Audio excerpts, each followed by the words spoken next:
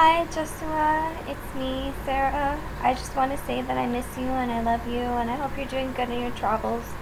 I hope you come back to Ohio. I miss you so much. I can't wait to catch up on things.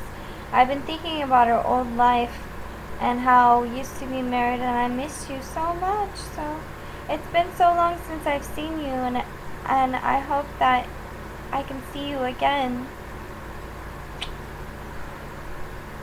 Much love.